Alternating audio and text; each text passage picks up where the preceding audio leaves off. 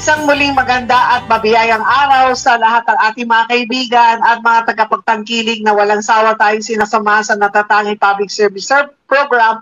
Ito ang Health and Travel at Servisyo Publiko. Pagbati ng Chow Shanghao at Ho Saki sa mga kapwa ko Filipino-Chinese sa buong bansa.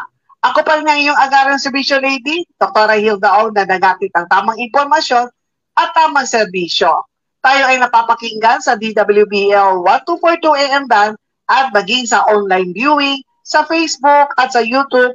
Hanapin lamang ang DWBL live streaming sa at sa Hilda Ong Agaran Servisyo Lady. Maaari nyo rin babalikan ang ating mga past episode sa TV, Radio, Hilda Ong FB account. Ngayon ay July 11, 2023, araw ng Martes. Bago ang isang usapan, narito muna ang isang balitang SSS. Kasangga Collect Program na tungo sa ABRA. Labis ang katuwaan ng 107 na mga JOs o job orders at COS o Contract of Service Personnel ng lokal na pamalaan ng San Isidro, ABRA matapos na makarating doon ang Kasangga Collect Program. Lumagda sa isang MOA Memorandum of Agreement ang SSS uh, uh, Bangyat Branch at ang LGU San uh, Isidro Abra para sa pagiging self-employed members ng mga JOs at COS. Nakapaloob sa kasunduan na ang LGU ay isa ang siyang magkokolekta ng kontribusyon ng mga self-employed members at siyang magre-remit sa Bangyat Branch. Sa pagiging mga SSS members, ay mayroon ng proteksyon at benepisyo matatamasa ang mga JOs at COS. Kasabay nito ay nagsagawa din ng SSS e-wheels sa barangay kung saan ay tinuturuan ang mga residente sa, sa paggamit ng iba't ibang digital platforms katulad ng SSS website, my.sss portal at uh, Usap Tayo portal at uh, iba pang mga serbisyo. Ikinatuwa ni San Isidro Mayor El Merante Pas, uh, PAGSA ang uh, pagtulong, pagtutulungan ng SSS at ang kanyang bayan para sa proteksyon at benepisyo ng mga masisipag niyang JO at COS na siyang niyang inaasahan sa paghatid ng serbisyo sa kanyang mga kababayan. Ang San Isidro ay isang fifth-class municipality na naghatid ng siyam na barangay at ayon sa pinakahuling census ay may populasyon na nasa higit kumulang 4,800. Sa batala, sa nakalap nating datos mula sa September 1957 kung kailan nagsimula ang SSS hanggang nitong August 2022 ay umabot na sa halagang 56.92 billion pesos ang kabuang halagang nailabas para sa sickness benefit at sa pagbagong at, at sa pabagong-bagong panahon ng ating dararanasan ay napakarami nating mga kababayan ang tinatabaan ng sakit lalong-lalo na uh, mga pumapasok sa trabaho araw-araw na sinusugapa ang mga lansangan. Mabuti na lamang at, at, at sa oras ng pangangailangan ay nandyan ang SSS para tayo ag, uh, agapayan. Ngayong araw na ito ay uh, pag-uusapan natin ito, siyempre kasama natin si Sir J. Labadia, Head of Media Affairs Department mula po sa SSS. Magandang umaga po, Sir J. Good morning, Doc Hilda at magandang araw din po sa lahat po ng tagapakinig ng ang inyong pong programa. Isang mabuting araw po sa inyo lahat. Mag- uh, uh, mabuting araw. Papa kanina nabanggit ko na ang S uh, dito kapag isang miyembro ay nakasakit, meron pong maasahan dito sa SSS. Sino-sino mga SSS members ang pwede lamang maka-avail ng sickness benefit? Opo, uh, doktora, tama po 'yon. Meron po ang um, merong binibigay ang SSS na benepisyo para po sa ating mga miyembro kung sakaling sila po ay nagkasakit. So first, we define po ano po ba ang sickness benefit. Ito ay isang daily cash allowance na ibinabayad po sa member sa ilang araw na kanyang pagkakasakit dahil uh, dahil sa may karamdaman or injury. Ang SSS benefit po, ang sakop po nito ay ang mga individu- individually paying members, katulad po ng mga self-employed, voluntary members, overseas Filipino workers, at non-working spouse. Gayun din po para sa mga separated na empleyadong miyembro na nawala ng trabaho at hindi nakatanggap ng advance payment para sa sickness benefit galing sa kanilang mga employers. Sakop din po nito yung mga employed members po na ang pag-file po ay sa kanilang employer which is yung employer po ang mag um, magfa-file ng sickness benefit reimbursement. Gayon din po ang mga household employers po. At uh, so ano ang uh, hahanaping qualifying condition ng SSS? Ang mga qualifying conditions po para makapag-avail po ng sickness benefit ng SSS, unang-una po, dapat ay na-host na hospital or na home confinement for at least 4 days po. And para mag-qualify din, kailangan meron din sila at least 3 monthly contributions within the 12-month period preceding the semester of sickness or injury. Uh, dapat din po ay nakapag-notify ang kanyang employer or sa case ng unemployed directly po sa SSS. At uh, kailangan po para sa mga employed ay nagamit na po nila yung mga kanilang current company sick leave with pay. Ah, so ibig sabihin, kapag ka sila ay nawala ng trabaho at sila ay nagkasakit, kailangan meron silang at least three contribution sa loob ng isang taon. Yes po, Doktora. Tama po. Halimbawa po, nagkasakit si member ng within the quarter po ng April, May, June. Mm. So, exclude po natin yung quarter po ng April, May, June. Backward po ulit tayo from January. Mm-hmm. So, isang semester po yun, yung January to June. So, yung one year po, magka-count po um, start po ng December ng previous year. So yung po yung 12 months po na yon, kailangan at least may three posted po na monthly contributions. At na pa do sa base do sa uh, ibinalita ko na ang mga LGU, 'di ba, ang ang ginagawa nila yung mga JOs nila o kaya yung mga yung mga contract uh, yung mga JOS, yung contract of ser- on service, kung sila ay nagkasakit at then, then on and off ang kanilang contribution kasi JO lang sila, meron 6 months lang. And then after 6 months, baka hindi sila ma-renew. And then mag-wait another, sabihin natin, another 6 months. So, kapag kaganyan, sila, ang tawag natin sa kanila ay self-employed at sila yung nakasakit, covered sila. Covered sila, doktora, as long na masatisfy po nila yung ating mga qualifying conditions. Ah, kasi base doon sa mga previous uh, interview ko sa iyo, merong mga nagtatanong na talaga sabi nila, Doktora, talaga as in hirap na hirap to talaga kami. Hindi talaga namin magka, kaya maghulog. At uh, sabihin natin, nahinto sila ng mga 2 to 3 years. Ngayon, nagtatanong sila kung sila daw ay makakapag-avail ng, ng benepisyo sa SSS. Pagka ganoon, walang, uh, kumbaga, nahinto sila ng 2 to 3 years o more than 3 years, hindi sila makakakuha.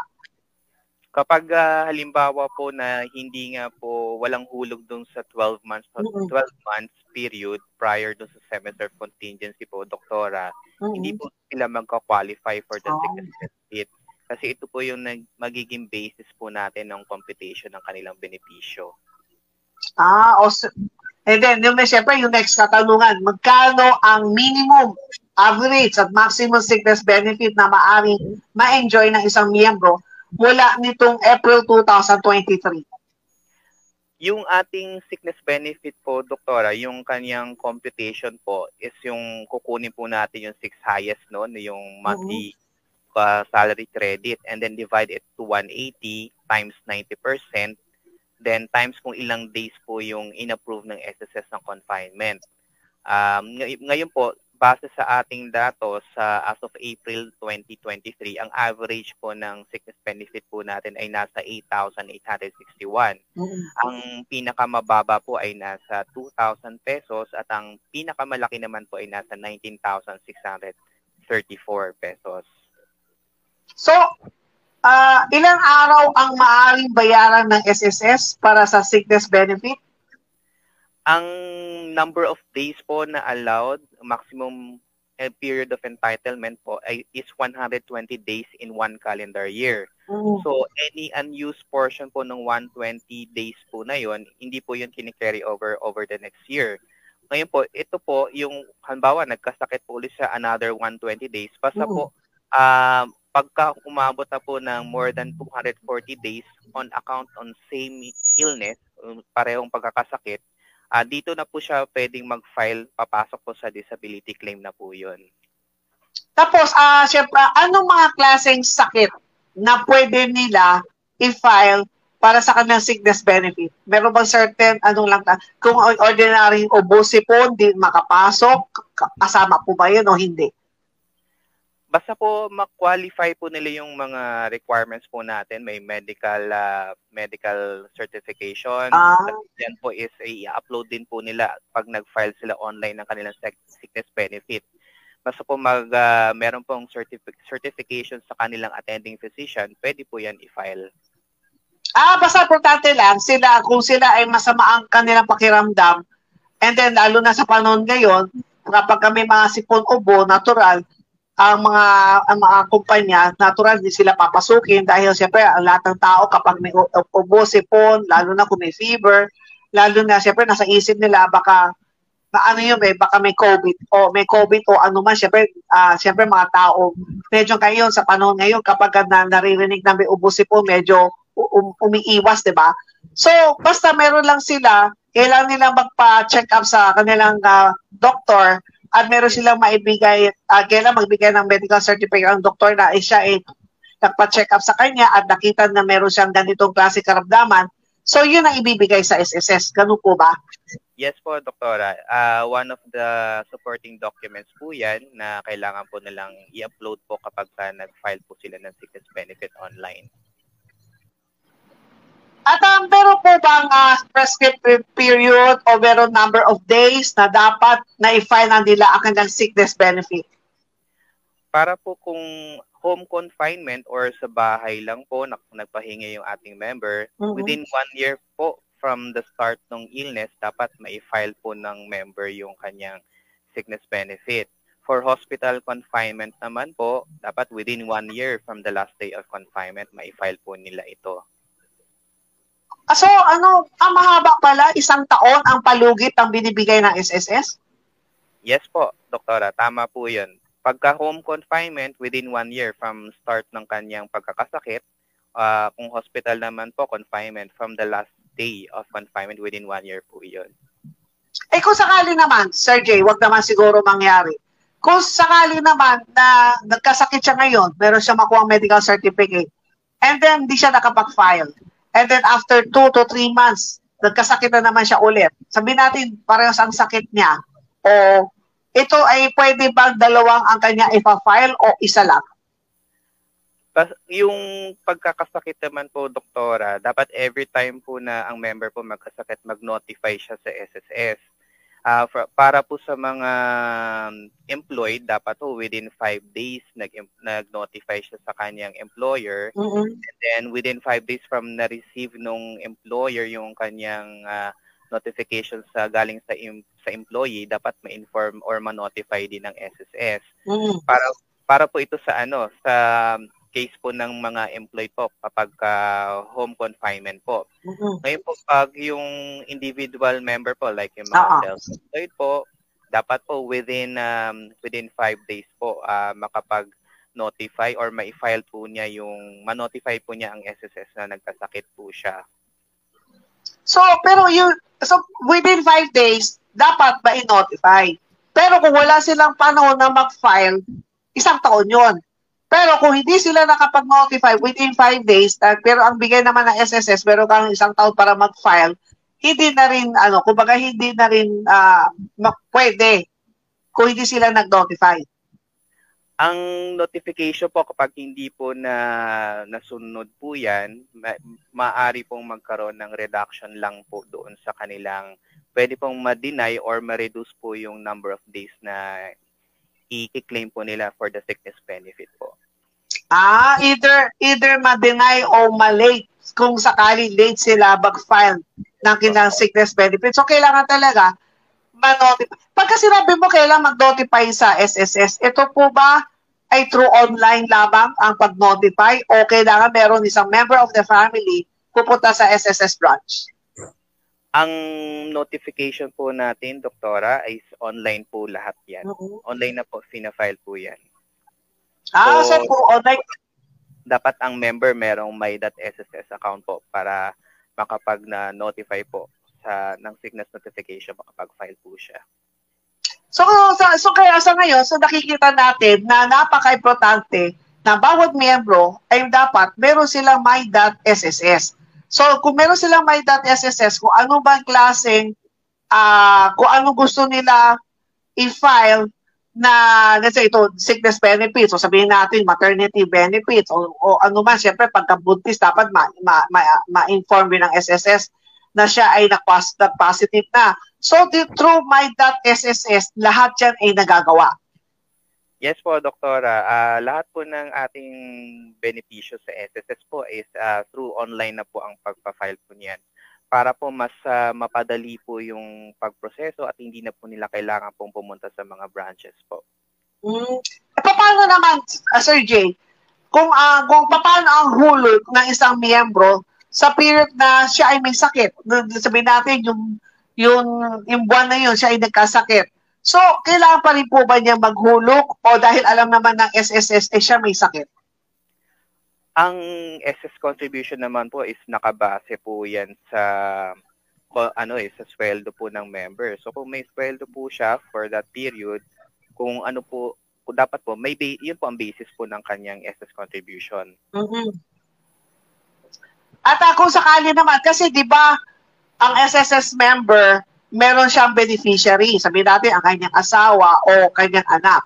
So, maaari bang mag-claim ang principal member, ang uh, mismong principal member ay may sakit. Tapos, ay nakasakit din ang kanyang, sabihin natin, ang isa sa kanyang anak. So, pwede po ba dalawa? Uh, hindi po, doktora. Ang sickness benefit po ay hindi po siya covered yung mga beneficiary. Uh, ito po kasi isa short-term benefit po siya. So ito po ang ang sickness benefit po ay para lamang po dun sa member dahil yun po ang binibigay na uh, benepisyo po natin. Para po sa mga beneficiary, ito lamang po ay para po sa mga ibang claims po like for example yung funeral mm-hmm. at saka yung death benefit po. Yun po ang ang mga benepisyo po na maaring ibigay po sa mga beneficiaries po na dineclare po ng member. O so, kapag po tungkol doon sa mga funeral claims, kung sakali naman na sila talaga ay nahinto na, sabihin natin, uh, matagal na sila nahinto, pero meron man, siguro sabihin natin, naka, meron silang uh, limang taon na contribution and then nag-stop na sila. Pero once na sila ay namatay, may makukuha sila sa funeral. Meron naman po, Doktora. Basta po may hulog po ang member, may makiklaim po na funeral benefit. Hmm. At uh, ito naman, uh, regarding naman ito sa ating kanina sa balita na Kasangga Collect Program, ay nagtungo sa APRA. Ano bang itong Kasangga Collect Program? Ang Kasangga Collect Program po, Doktora, ito po ay ang um, program na partnership po natin with uh, different po uh, LGUs, for mm-hmm. example, yung mga barangay na kino-cover po natin yung kanilang mga contract of service worker or yung mga job order workers kasi hindi naman po sila covered ng GSIS. So, sa kasa under the Kasangga Collect Program, yung kanilang mga job order workers po, ire-register po nila natin sila sa SSS as self-employed. And yung manner po ng pagko-contribute po ng kanilang contribution is through salary deduction scheme. So, ibig sabihin, uh, i-deduct po ng ng kanilang um, LGU uh, yung yung contribution from their salaries and sila na po ang magre-remit po sa SSS.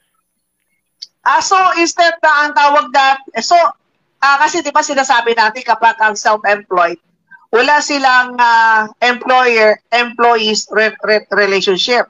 Pero under dito sa Kasangga Collect Program, kasama din po ba sila sa EC program? Yes po, Dr. Cover din po ng EC huh? ang ano ang mga self-employed members po. Ah, so, paano pala? Ah, so, maganda pala. Ah, under sila sa EC program, hindi katulad ng self-voluntary. Kasi ito naman eh, masasabi naman na employed sila, yung nga lang JO o COS. So, kung ano ang nakukuha ang benepisyo ng isang regular employee sa mga private company, the same din po ba ang makukuha ng nilang benepisyo kapag sila ay nagtatrabaho sa mga LGU? Yes po, um, dahil po may easy benefit din po sila. So if ever po ang kanilang sickness or kanilang injury ay related po sa kanilang trabaho, makakapag-avail din po sila ng easy benefits. Ah, pa paano pa paano naisip ng ano, naisip ng SSS na magtungo sa mga LGU para makipag-partner sa kanila? Meron po tayo, doktora, na mga accounts officer po sa ating mga branches. So, Mhm. one of their functions po is pumupunta po sila sa mga barangays na covered ng jurisdiction po ng kanilang branch para i-offer po itong program sa ating mga LGUs. Dahil napakaganda po na makover po na rin natin yung ating mga job order workers po dahil importante po talaga na magkaroon din po sila ng social security protection po. At uh, alam mo sa uh, Sir Jay, siguro baka pwede mo rin ito iparating. Kasi nalam kasi ako po ay uh, active po ako sa Philippine Coast Guard Auxiliary. And then, siyempre nakakasama ko ating mga regular na Philippine Coast Guard. Ang sabi nila sa akin, wala silang SSS, ay wala din silang GSIS. So, kapag kaganyan, wala daw silang ganung klaseng benepisyo na makukuha. Maaari din po ba ang SSS makipag ano makipag tie up sa Philippine Coast Guard kasi sa sobrang dami po talaga ng mga uh, ating mga, mga Coast, Coast Guard dyan ang tawag namin. Maraming Coast Guard dyan nasa mga lalo na ngayon may hiring na mga nasa 10,000 eh one more pa yung mga dating Coast Guard dyan. So, yan ang naririnig ko. Sabi niya, ay, wala kaming SSS. Eh, syempre, natural kasi kayo ay nag, nasa, kumbaga, gobyerno to eh. Ma'am, wala din po kaming GSIS. So, ano ang pwedeng maitulong ng SSS since ako ay nandito sa Philippine Coast Guard? Uh, maaari po kami, doktora, makipag-set po siguro ng meeting with your ano your office para mm-hmm. mapag-usapan po uh, natin kung paano po yung Kasangga Collect program, paano mm-hmm. po natin siya mailalapat. Uh, actually, ang aming acting head po si Sir Carlo Villacorta. Siya po ang currently head po ng ano din eh, ng sa professional sector department at nag-handle din po ng mga coverage po ng mga self-employed. So, uh, magandang magandang ano po 'yan proposal po para din po sa social security protection po ng mga employees po ng Philippine Coast Guard lalo na po na nabanggit po ninyo na hindi po sila, wala po silang GSIS uh, coverage and also sa SSS. Mm. So, through SSS, uh, Kal Kaltas Collect Program, magkakaroon na po sila ng, uh, ng opportunity or ng in the long run, pagka ba nag-retire po sila, magkaroon po sila ng retirement benefit para din po sa kanilang future po yan. And as well, kung halimbawa po, uh, yun po, during work po nila, uh, meron po silang uh, benefit na maaari po nilang avail through sickness benefit po ng SSS and easy benefit din po. Oo, kasi talaga sabi ko na sis, napag-usapan natin to at uh, ito dahil nga nung uh, nalaman ko na itong ang uh, SSS ngayon eh meron itong tinatawag na kasangga collect program at dahil syempre dahil uh, like yesterday kasama ko rin sila kasi kahapon nakatanggap po ako ng outstanding medal awards dahil doon sa naka dahil doon sa nakaraan na national convention. And tapos ito nga, talaga napag-uusapan namin uh, na paano ito, wala daw silang GSI. Eh, sabi ko, at tama-tama nung nabanggit mo to, baka pwede i maisama ang Coast Guard, lalo na ngayon, Sir Jay, ang dami po mga pumapasok sa Coast Guard at mga ang babata pa. Eh syempre kaya naman kung sasabihin natin ikakalta sa kanilang sahot, kayang-kaya nila. Yun lang, papaano lang, at uh, ako mismo, ay na, ako mismo, ang mag-ano sa kay Sir Carlo Villacorta para maano makipag-usap sa sa sa ating Philippine Coast Guard para masama din naman sila kasi ang iniisip natin para sa kanilang future. Yes, doktora, napakagandang ano po niyan, uh, ide, uh, programa po para po sa ating mga Philippine Coast Guard po na mga employees po. Mm-hmm. So, uh, through our Kasangga Collect program, magkakaroon po sila ng social security protection at uh, hindi na po sila magkakaroon ng pangamba kung sakaling uh, magkasakit po sila or magkaroon po ng aksidente while uh, performing their duties po. Eh so far po, sa naki uh, ano ang reaction ng mga manggagawa dito sa mga LGU kung sa ito na nga itong kasangga collection program sila po ba ay natutuwa dahil siyempre mababawasan ang kanilang sahod uh, maganda naman din po ang feedback po from the LGU workers po kasi unang-una po kahit na po sabihin po natin na na, na through salary deduction, at least po yung kanilang a portion of their income po na itatabi po iyan. So, although it will, um, sa tingin po nila na expense po yan or deduction, mm-hmm. uh, ito rin po ay isang bene, uh, ito po ay isang investment din po in the long run. So, magagamit din po nila yan pagka nag-file po sila ng mga benefits po or kung mangailangan po sila ng mga ng, ng short-term financial uh, requirements po for through our through availing of our ano yung mga salary salary loan po natin. So ma- hindi po siya hindi although it's a deduction but it is considered po as an investment din po. Oo, kasi kung ikukumpara mo ang deduction na ginagawa ng SSS compare sa GSIS, mas maliit lang ang nakakaltas sa SSS. Pero, pero syempre, pag balitang kaltas, pagdating naman sa pension, kung i-compare mo naman sa GSIS, natural, mas maliit din kasi maliit din naman ang nakakaltas sa sahod do bawat buwan, bawat buwan and then sa loob ng isang taon, i-compare mo sa GSIS. Pero mas maganda pa rin kaysa sa wala. Lalo na pa, lalo kapag sila ay nagkasakit. Ang, ang, ang sinasabi ko dito sa ating Philippine Coast Guard, kapag sila ay nagkasakit, o sabihin namin kasi marami kami mga babaeng Coast Guard dyan, kung sila ay nag-asawa, na, na kumbaga, uh, may, sabihin natin, nabuntis sila, o sabi lalo na, in time of calamity, nandun ang mga Coast Guard, lumalabas talaga yan. So, accident. So, dito, maasahan, kahit pa paano, meron silang maasahan na may SSS. Yes, Doktora, maganda po kasi yan dahil una-una eh, hindi na po sila mag-iisip kung paano, uh, hindi na po nila tatanda kung uh, maiwasan po nila yung hindi makapagbayad kasi salary deduction na po yan eh. Mm-hmm. At ang magre-remit, magre-remit na po niyan is yung kanilang uh, yung Philippine Coast Guard as their uh, yung pinaka-employer po nila pero yun po uh, unlike po kasi pag individual uh, minsan nagkakaroon ng instances po nakakaligtaan yung pagbayad. Pero kung meron pong under po sila, sila ng kasangga collect program is dahil sa, through salary deduction po yan. So hindi na po nila mamimiss yung paghuhulog po ng kanilang contributions. Pero kung sakali ko sila nagkasakit, the same din po ba sa mga private company na kailangan pa rin nila uh, magpapirma sa kanilang sa kanilang head ng uh, Coast Guard para dun sa kanilang uh, kung anumang klaseng leave na ina-apply nila sa sa SSS. Dahil sila po ay covered as self-employed po, directly sila na po ang magfa-file po nun through their my.sss account. So ang pagbabayad po ng ng sickness benefit is directly na po sa kanilang bank account. Unlike po sa employed na ina-advance po kasi ng employer yung sickness benefit and then si employer po ang nag-reimburse po sa amin sa SSS.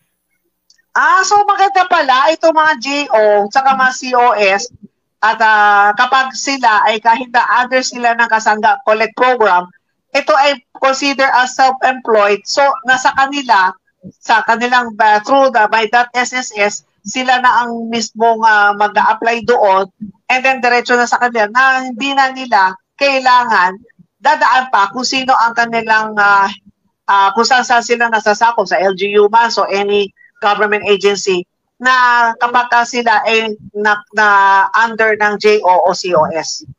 Yes po, Doktora. Yung kanilang ano lang naman po is yung kanilang organization uh, yun lang po ang in charge po sa pagbabayad. Pero mm-hmm. yung lahat po ng benefits is they are uh, qualified. They should comply kung ano po yung mga uh, dapat na requirements as self-employed member po.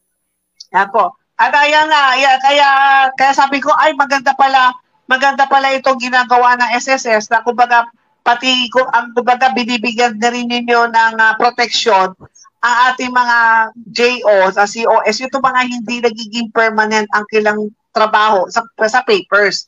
Pero nandiyan naman talaga sila. Yung, yung nga lang sa papeles lang sila, hindi nagiging regular. Pero ganito ang ginagawa ng SSS, pinag-aaralan ninyo, na para lahat ay mabigyan ng protection. So Sir Jill, ano ang pwede mong bigay, uh, ano ang iyong mensahe sa mga, let's say sabihin natin mga LGU na hindi pa uh, hindi pa ninyo nagiging ka-tie up na hindi pa ninyo nakakasama dito sa Kasangga uh, uh, collection program? Opo, uh, tina- uh, nananawagan po kami sa lahat po ng mga LGUs and yung mga local government units, mga barangays po, or any government agency po na uh, nais po ninyong mabigyan ng social security protection po yung inyong mga manggagawa, maaari po kayong makipag-ugnayan lang po sa ating mga branches po. Meron po tayong mga accounts officer or pwede rin po silang uh, sumadya po dito sa main office po para makipag-coordinate para paano po yung uh, ma-implement yung paano po sila maging uh, part po ng Kasangga Collect program po. Dahil ito po ay isang magandang programa na uh, ini-extend po natin yung social security uh, coverage po sa ating mga job order workers po na hindi covered po na under GSIS. Yan po. Maraming maraming salamat po Sir Jay sa oras na binigay mo dito sa programang Health and Travel at Serbisyo Publiko. Thank you, Doktora, at maraming salamat din po sa pagkakataong muli po na makapagbigay po tayo ng informasyon para sa ating mga members. Yan po. Muli po, ang nakasama natin ay si Sir J. Labadia. Siya po ang Head of Media Affairs Department mula po sa SSS. Kung meron po kayong mga katanungan o gustong linawin ng mga bagay-bagay, huwag kayong mag-atubiling magpadala ng mensahe sa, sa ating mga social media account at asahan po na ipaparating natin ito sa SSS. Lalo na po sa mga sa mga nagko-comment po dito po sa YouTube channel ko po, Hilda Ong, Agaran Servicio Lady. Marami po mga, mga katanungan. At uh, next week po, uh, babalikan po namin yung, uh, yung, yung usaping yung tungkol sa lamsam. Sino po ba ang pwedeng makakuha ng lamsam? At ano po ba ang pakakaiba sa 18 advance 18 months? Kasi doon, ang uh, so far, alam mo talaga, ang daming nagtatanong sa akin.